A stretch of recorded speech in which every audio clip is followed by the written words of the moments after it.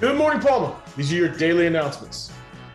Thank you to everyone who came out last night and participated in or supported the dodgeball tournament. Congratulations to Los Dormientos for winning the dodgeball tournament last night. Join the Nature and Ecology Club for the second hike this Saturday in Fort Ord National Monument from 9, uh, 9 a.m. to noon. For more information, contact Mr. Silva. There's a service opportunity this Saturday at Sacred Heart School from 1 to 3 p.m. Students are needed to help unload pumpkins for their fall festival. In the words of Blake Iverson, help out and get yoked. For more information, contact Mr. Silva. The Note D Matter Club will be meeting this Thursday right after school at 240 in room A1.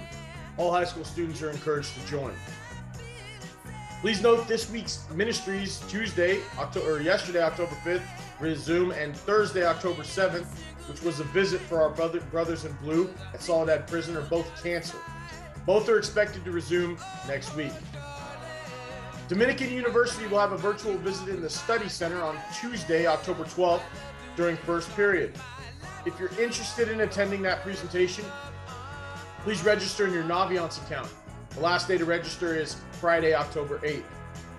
Point Loma Nazarene University will have a virtual visit in the study center on Thursday, October 14th during first period. If you are interested in attending the presentation, please register in your Naviance account no later than Tuesday, October 12th. Congratulations to the junior high soccer team who scored a late goal last night to win 3 to 2.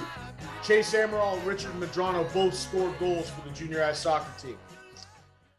Lastly, men, let's bow our heads for prayer. In the name of the Father, Son, and the Holy Spirit, amen.